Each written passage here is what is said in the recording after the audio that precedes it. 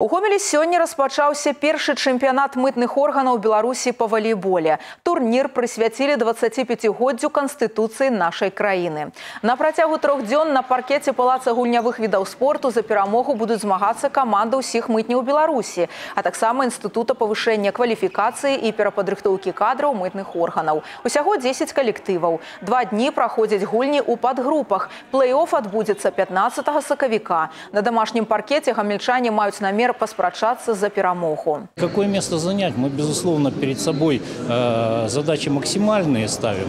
Но э, если какая-то команда э, окажется сильнее нашей, мы тоже в обиде не будем, потому что это наши друзья, это наши коллеги, это таможенники. В любом случае победит спорт. Чэмпіянат па валейболе ўваходзіць у календар круглагадовай спартакіяды мытных органаў.